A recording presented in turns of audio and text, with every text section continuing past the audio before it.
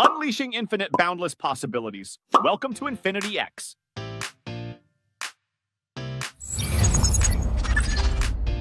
Verax TV.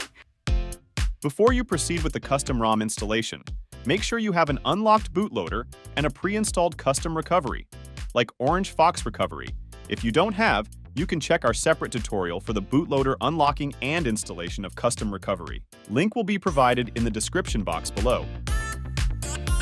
To install Infinity X ROM to your Redmi Note 13 Pro 5G, you need to download this flashable file and save it in your internal storage. Once downloaded, power off the device and reboot to Orange Fox Recovery by holding power button and volume up simultaneously until you see the Orange Fox logo. Inside the Orange Fox Recovery, locate the flashable file and flash it without changing anything in the recovery settings. After flashing, go back to Home and proceed to Wipe tab, the one with the trash bin icon. Select Format Data, then type Yes to proceed formatting data. Once done formatting the data, you are now safe to reboot to system. First boot may take some time. Once booted to the welcome screen, just set it up like a new device.